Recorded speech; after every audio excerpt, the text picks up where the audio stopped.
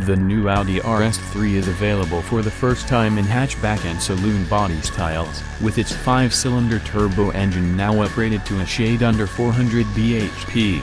The RS3 reclaimed its title as the most powerful hot hatch on sale as well as becoming the most powerful small saloon on the market. Both body styles will be available globally with Audi anticipating a 60 hours 40 minutes sales split in favor of the 5-door Sportback version. The RS3 will be available to order in April this year with deliveries due to commence in August.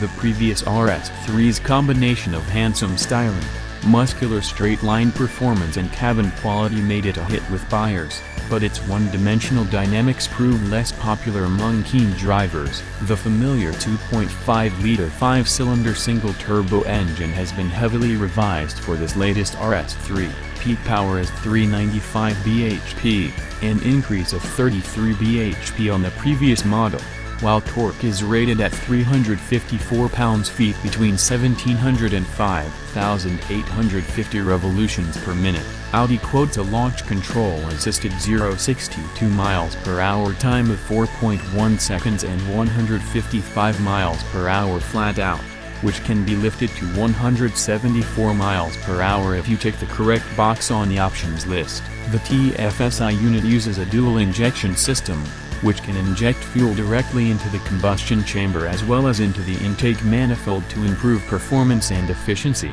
depending on the driving style.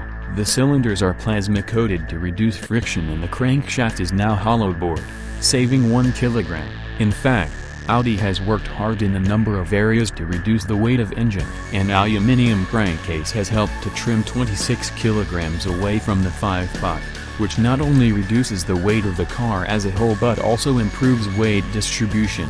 UK pricing is yet to be confirmed, but Audi estimates the Sportback will cost around £45,000 with the saloon carrying a modest premium.